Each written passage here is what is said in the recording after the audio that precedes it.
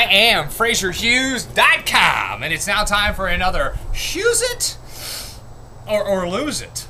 Why? Because everybody's got an opinion. I mean, you don't believe me? Just ask someone for an opinion, and they're definitely gonna give it to you.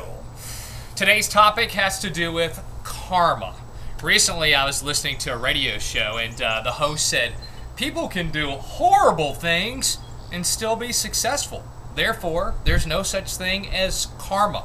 And we've always heard this line Oh, wow, I can't believe he did that. Karma is a blank. so, is there really such a thing as karma? Does it exist? Hughes it. It does. You better watch out. You better not cry. You better not pout. I'm telling you why.